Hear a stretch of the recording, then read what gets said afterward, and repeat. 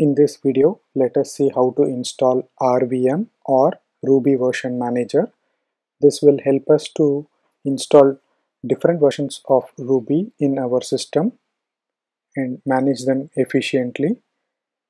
This is the command to install RVM with a stable Ruby version.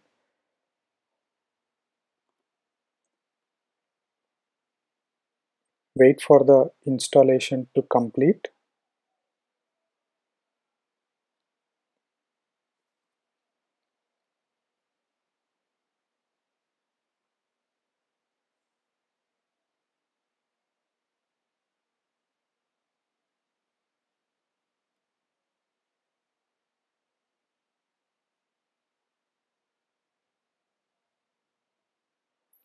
RVM installation has completed successfully.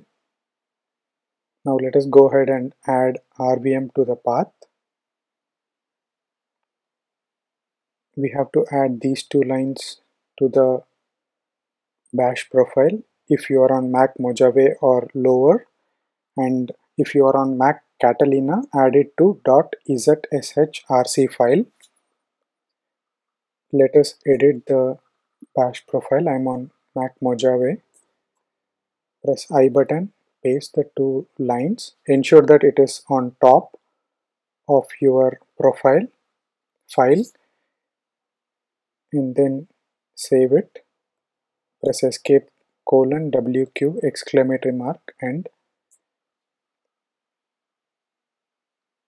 so let us source the bash profile once we source it type rvm into the terminal. You can see list of all the commands. This ensures that rvm has installed successfully. Now enter rvm list. This shows that